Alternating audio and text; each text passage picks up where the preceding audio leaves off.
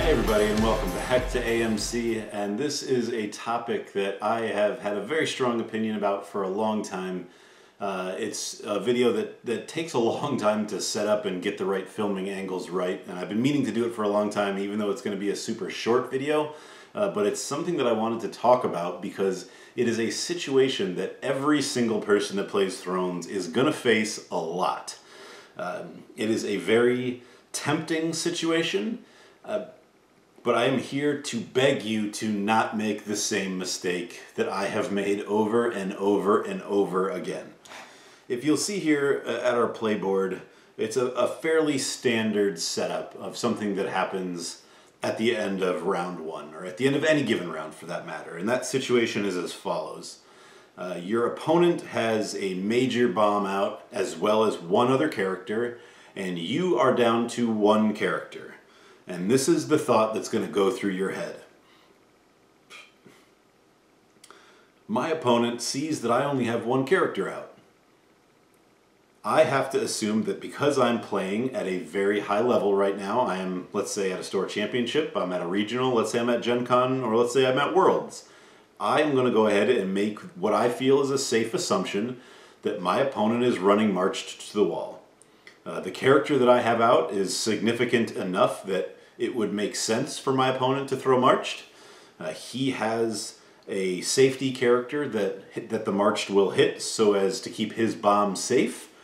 And of course, you're playing at a high level as well, so you also have marched in your plot deck.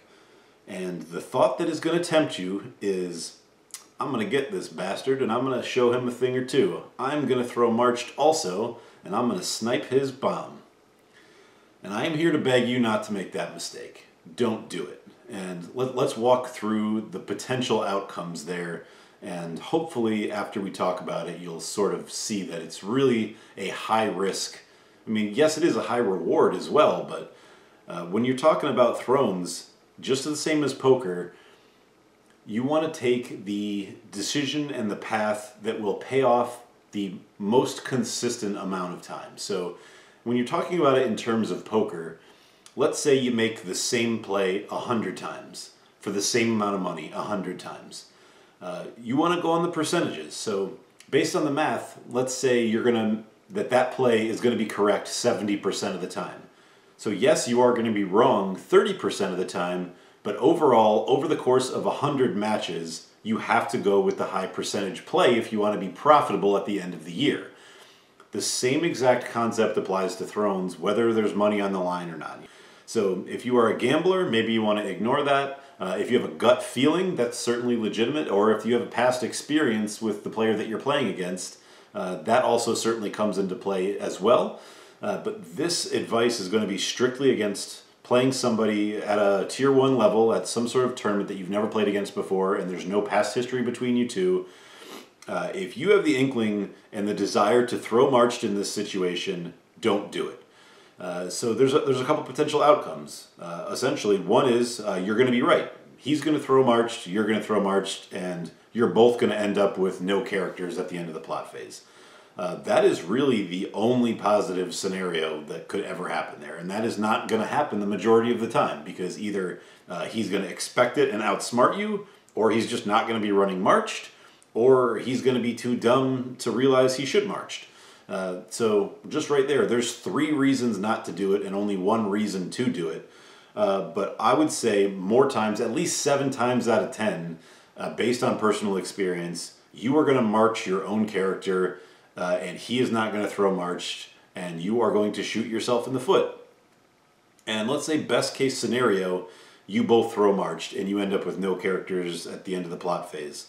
Uh, Maybe that evens the match. Maybe that helps you come back and win the game. But I can tell you one thing for certain: if you throw marched and he doesn't, you're going to lose the game.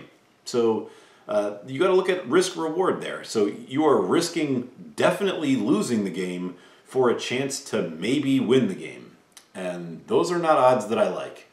So please, I beg you, if you're playing at a high level, don't try to be tricky. Make the safe play. Make the high percentage play don't do what I have done several times in the past and learned this lesson the hard way.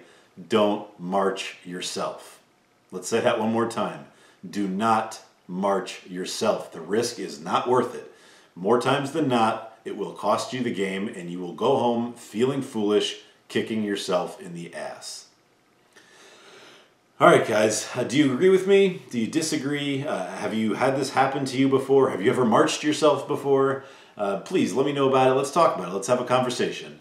Uh, as always, thank you so much for watching AMC. I love you guys very much, and I'll speak with you again soon.